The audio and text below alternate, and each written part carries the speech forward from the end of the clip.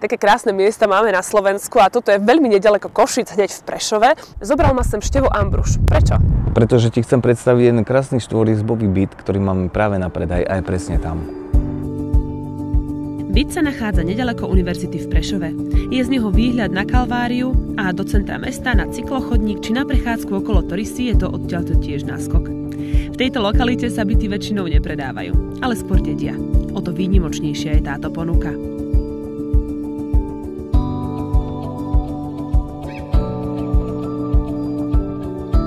Byt je na štvrtom poschodí, má 72 m štvorcových, pivnicu a dobrých nekonfliktných susedov.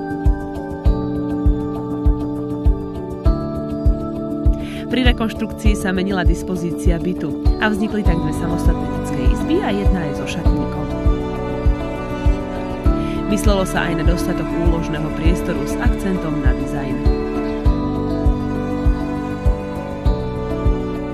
Mňa osobne veľmi bavia takéto nehnuteľnosti, do ktorých keď prídeš, tak je to celé také pekné, svetlé, vzdušné a veľmi pekne zariadené.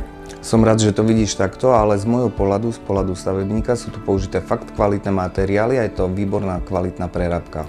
A tí noví majiteľia, ktorí sem prídu, budú musieť zariadzovať na novo, alebo...